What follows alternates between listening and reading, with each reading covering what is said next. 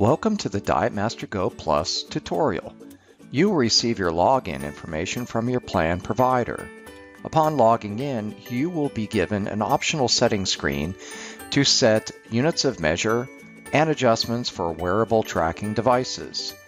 The summary screen provides a overview of the current date and your dietary intake as well as your weight goal summary.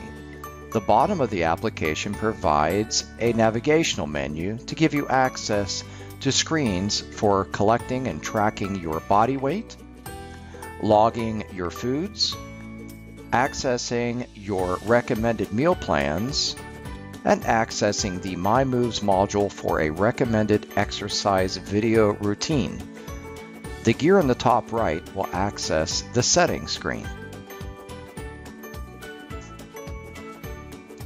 The My Meal screen provides the recommended dietary plan for you, where you can access a grocery list by highlighting the days that you wish to go shopping for and then click Done. Foods for your meal plan are neatly organized in food group categories with total quantities needed for that period of time selected. You can also exchange foods that have been recommended for your own personal preferences. You'll be able to access the food database where you can exchange the food and it will automatically adjust the portion size to keep the calories within balance. You also have the opportunity to save foods as favorites for quick reference in the future.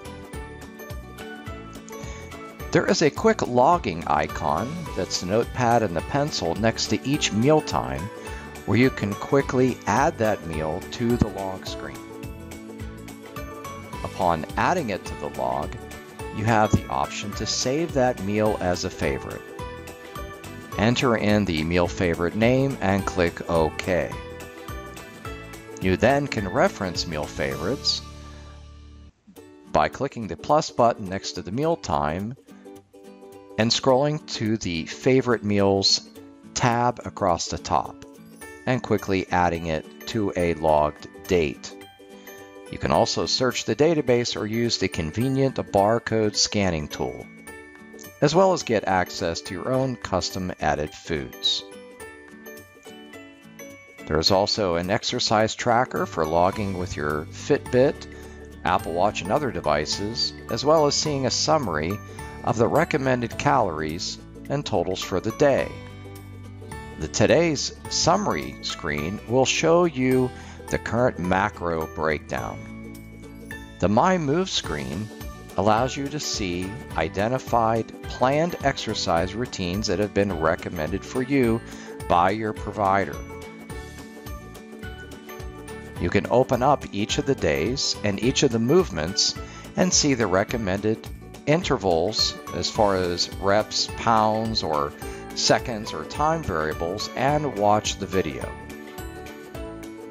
Videos can be launched in a separate screen and viewed in a full screen view as well.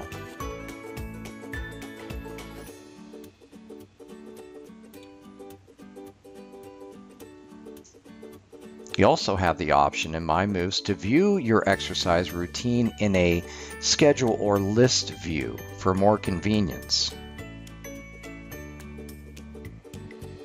You can add your own custom workouts by selecting a blank day and searching the database for a body part and the available exercises. You can add them to that day, enter the number of sets that you wish to perform, the method of those sets from the drop-down list, including repetitions, pounds, distance, minutes, and time options, and then enter in the values for each one of those.